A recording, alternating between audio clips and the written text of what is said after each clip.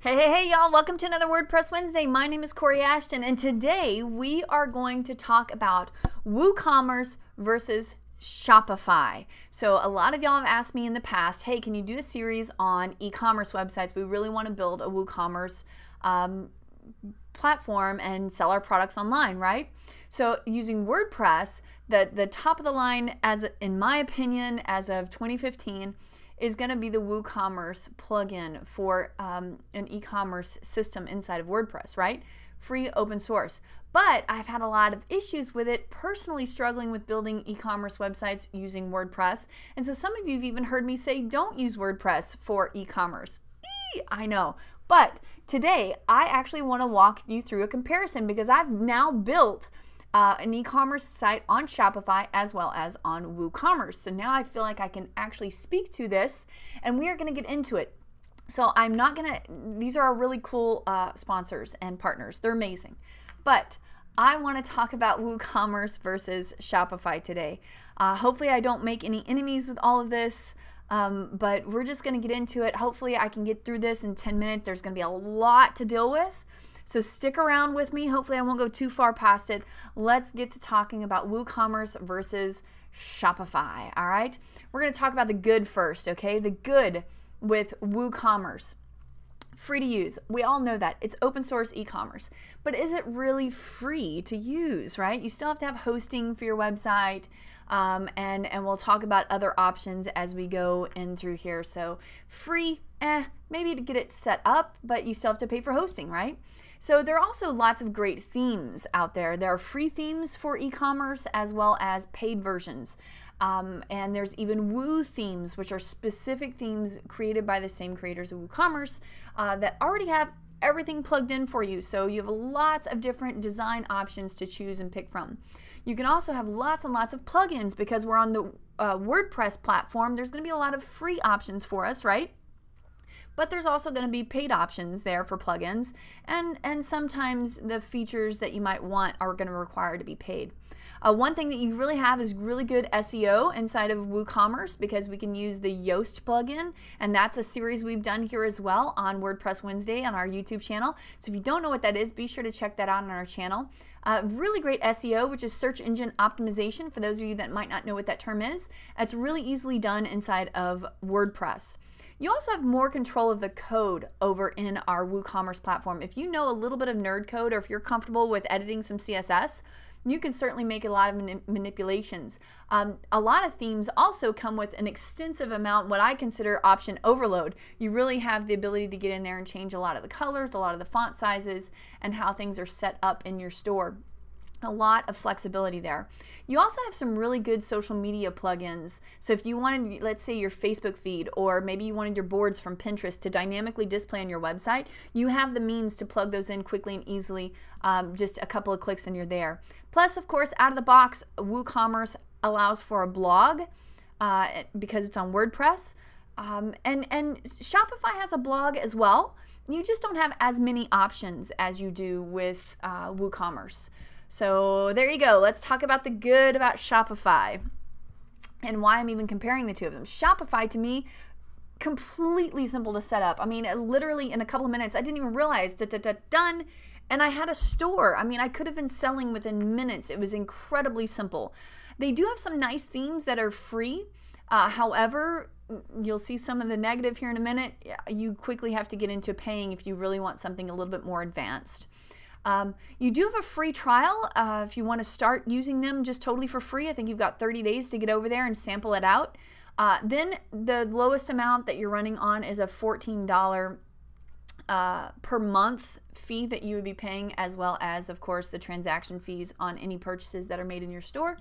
Uh, they do have quite a few free plugins that were helping me with shipping and uh, a couple of, uh, they had a customer review plugin that was totally free for me to drop in so that people could give my products reviews. That was kind of cool, totally for free.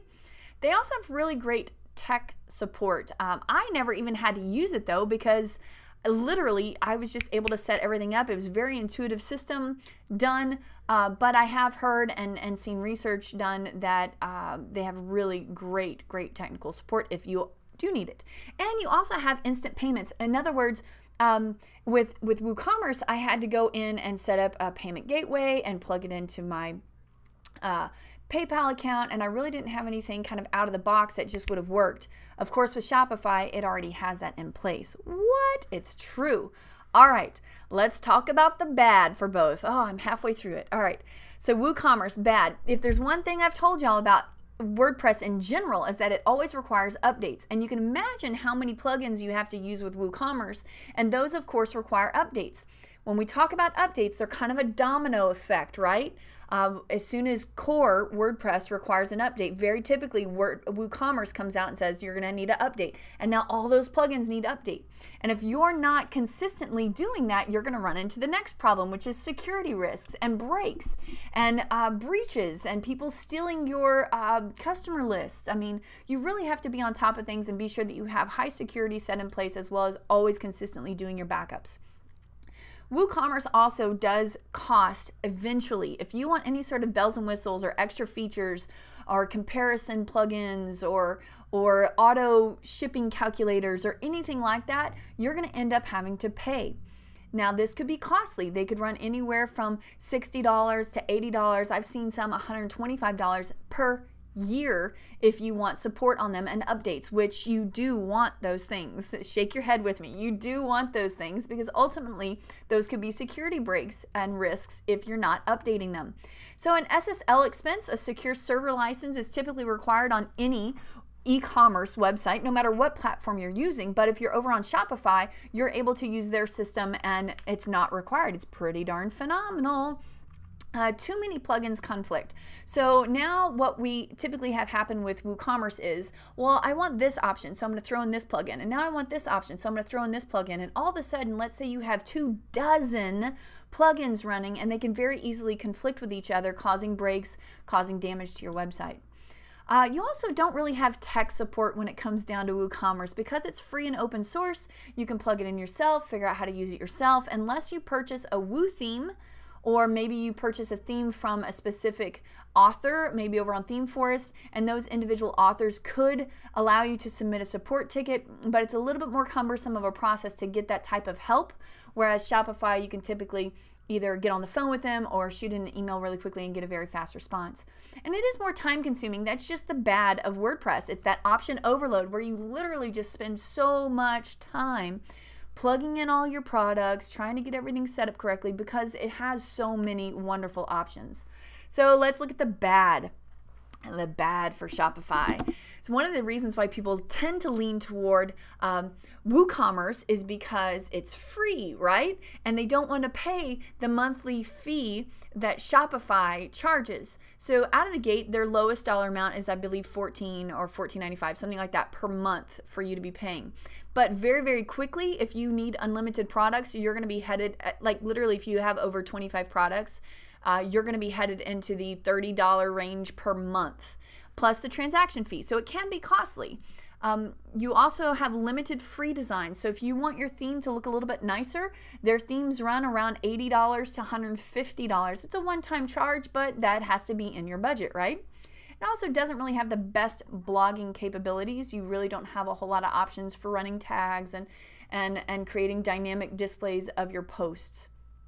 You also are a little limited with your SEO capabilities and editing your title tags on your page as well as um, manipulating. They do have a plugin for you uh, that I found to be comparable in a sense to Yoast, uh, but it's just not as robust. So, okay, so that's the good and the bad. You can see that there really quickly, the good and the bad. Uh, what I do want to talk about, though, overall, the biggest issues with any e commerce website, no matter what, is that typically you have bad pictures. So, you want to have really great photos, that your photos are what's going to sell your products, right? Then you also have to figure out shipping. That's actually killed some of our customers is they don't calculate the right amounts for shipping they're so they're not charging the right amount, so they have to eat the shipping costs, and ultimately that dives into your your uh, profit margin, and that could ultimately really, really, really hurt your business. And then, of course, figuring out what payment gateway uh, to use and how to be sure that it works with your server and your hosting company as well as your transaction fees and how quickly you can get your money back from the payment gateway and get it into your account All those different things are little things that you need to consider whenever you're setting up an e commerce website, okay? So, overall, I'm going to say to you that I think Shopify wins as a proof of concept. Let's call it that a proof of concept website. So, if you're just getting started with, um, that's my phone and a siren going off, if you're just getting started with uh, an e commerce website, and you're thinking, I don't know which one to use, I think it's pretty phenomenal to go ahead and try to use Shopify. It's literally set up in a, in a few minutes, and you're off and running with a very simple, very basic uh, website. Fantastic for that. But if you need something a little bit more advanced and you really want to get technical and put in uh, some really cool widgets and plugins and extra bells and whistles, you want to look at WooCommerce. So I, I can't believe I'm saying this because most of the time I tell people don't do it. WooCommerce is such a beast uh, to tackle, but if you've already got your proof of concept, you know you're able to sell, and you're able to maybe hire a tech team, uh, a developer team to help you set up WooCommerce, I highly recommend it. All right? I know that was a lot in 11 minutes. I'm one minute over, but I appreciate you taking time with me. I'm going to put the subscribe button right here because every single Wednesday I'm releasing great videos on WordPress. And if you have questions about these two, uh, which I'm not an affiliate of either one, by the way, I'm not getting money off of this uh, video from either one of these companies. I was just giving you my opinion, completely my opinion on my user experience in both environments. You can put your comments in the description box below and uh, be kind, all right? Y'all have a great one. I'll see you next WordPress Wednesday. Bye bye.